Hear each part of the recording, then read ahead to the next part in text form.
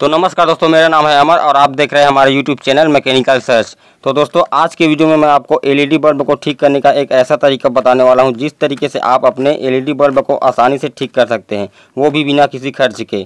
तो दोस्तों, इस वीडियो में मैं आपको बताऊँगा कि अगर आपका एलईडी बल्ब थोड़ा थोड़ा जलता हुआ दिखाई दे रहा है और उसका गारंटी पीरियड भी ख़त्म हो चुका है, इस स्थिति में दुकानदार भी बल्ब को रिप्लेस करने से मना कर देता है। तो हम उस बल्ब को ख़राब समझकर फेंक देते हैं। तो दोस्तों, इस वीडियो को पूरा देखने के बाद आप अपने एलईडी बल्ब को कभी नहीं फेंकेंगे। तो दोस्तों, वीडियो अच्छा लगे तो लाइक ज़रूर कीजिएगा और अगर आप इसी तरह इलेक्ट्रिकल से संबंधित हर तरह के वीडियो देखना चाहते हैं तो फटाक से हमारे चैनल को सब्सक्राइब कर लीजिए। और साथ में घंटी के निशान को भी प्रेस करना ना भूलिए, तभी आपके पास नोटिफिकेशन जाएगा, वरना नहीं जाएगा। तो दोस्तों, सबसे पहले हम आपको इस एलईडी बल्ब को आपको चेक करके दिखाएँगे कि यह जल रहा है कि नहीं। तो दोस्तों, उसके लिए हमें इस तरह से होल्डर लगा हुआ वायर का ज़रूरत पड़ेगा, जिस पर हम इस एलईडी बल्ब को लगाकर, प्लग में लगाकर आपको दिखाएँगे कि यह जल रहा है कि नहीं। तो दोस्तों, हम इसे प्लग में लगा लेते हैं इस तरह से। तो दोस्तों, आप देख सकते हैं, यह बल्ब नहीं जल रहा है। तो दोस्तों, हम इस एलईडी बल्ब का ऊपर का जो कवर है, जो ढक्कन है, उसे हम खोल कर देखेंगे कि इसका लाइट है वह जल रहा है कि नहीं? तो दोस्तों, इस प्रकार से हम इसका जो कवर है, उसे निकाल लेते हैं। तो दोस्तों, आप देख सकते हैं जे उसका जो एलईडी बल्ब है, वह हल्का हल्का बहुत ही कम मात्रा में जलता हुआ दिखाई दे रहा है। तो दोस्तों, अब आपको क्या करना है? दोस्तों, आपको करना यह है कि इसका जो लाइट है, उसे शॉर्ट करके देखना है। तो दोस्तों, उसके लिए आपको एक छोटा सा वायर का ज़रूरत पड़ेगा। इस तरह से। तो दोस्तों, आपको इस तरह से एक छोटा सा वायर का ज़रूरत पड़ेगा जिसे आप कटर की सहायता से काट कर इस तरह से आकार देकर बना सकते हैं। तो दोस्तों, हम इस वायर से जो एलईडी बल्ब है, उसका हर एक लाइट को हम बारी बारी से शॉर्ट करके देखेंगे कि प्रॉब्लम कहाँ पर है उसे। तो चलिए दोस्तों, हम इसका जो एलईडी बल्ब है, उसे हम शॉर्ट करके देखते हैं।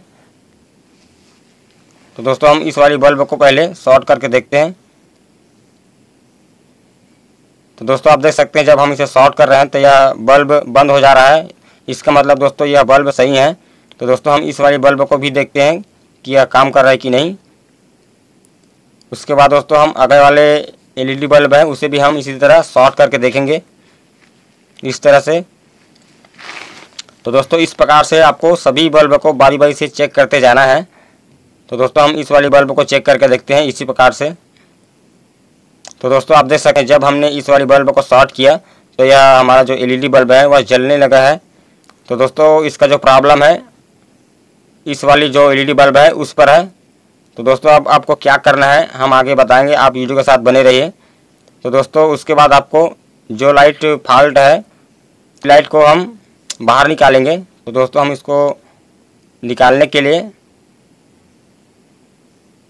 तो दोस्तों, आप देख सकते हैं, इसका जो जो फॉल्ट वाली जो बल्ब है, उस पर काला काला निशान लगा हुआ है। तो दोस्तों, आप देख कर भी अंदाज़ा लगा सकते हैं कि कौन सा लाइट ख़राब हो सकता है। मगर दोस्तों, इसे चेक करने के बाद ही इसका पता चल पाएगा कि कौन सा लाइट रियल में ख़राब है या नहीं। तो दोस्तों, हम इसे कटर की सहायता से ऐसे उखाड़ कर दोस्तों, हम जो लाइट हमने निकाले हैं, जो ख़राब हो चुका था वहाँ पर तो दोस्तों, हम इस दोनों पॉइंट को एक पॉइंट बनाएँगे।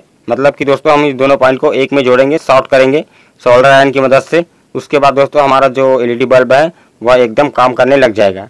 तो दोस्तों इस तरह से आपको घिस लेना है। घिस लेने के बाद दोस्तों आपको हल्का सा पेस्ट लगा लेना है। जिस बल्ब को हमने निकाला है, उस वाले बल्ब पे इस तरह से। उसके बाद दोस्तों हम सोल्डरिंग आयरन की मदद से इसको सोल्डर करेंगे। तो दोस्तों हम सोल्डर आयरन में थोड़ा सा रांगा लगाएँगे। उसके बाद दोस्तों उस रांगे को, जो बल्ब को हमने शॉर्ट करना है, वहाँ पर हम इसे, वहाँ पर इसे हम आपस में जोड़ देंगे। उसके बाद दोस्तों हमारा एलईडी बल्ब तैयार हो जाएगा। तो दोस्तों आप देख सकते हैं इस तरह से आपको एलईडी बल्ब का रिपेयर कर लेना है। तो दोस्तों हम इसे प्लग में लगाकर आपको दिखाते हैं कि यह काम कर रहा है कि नहीं। तो दोस्तों आप देख सकते हैं हमारा एलईडी बल्ब एकदम ओके हो चुका है। तो दोस्तों आप देख सकते हैं हमारा एलईडी बल्ब जल रहा है। तो दोस्तों हम इसका जो कवर है, ढक्कन है, उसे भी लगा लेते हैं। तो दोस्तों आपको इस तरह से अपने एलईडी बल्ब का रिपेयर कर लेना है, बिना किसी खर्च के। तो दोस्तों, आशा करता हूँ आपको यह वीडियो अच्छा लगा होगा। अगर अच्छा लगा दोस्तों तो प्लीज़ वीडियो को लाइक कर दीजिएगा हमारे चैनल को सब्सक्राइब कर दीजिएगा। तो चलिए दोस्तों, मिलते हैं नेक्स्ट वीडियो में। तब तक के लिए जय हिंद, वंदे मातरम।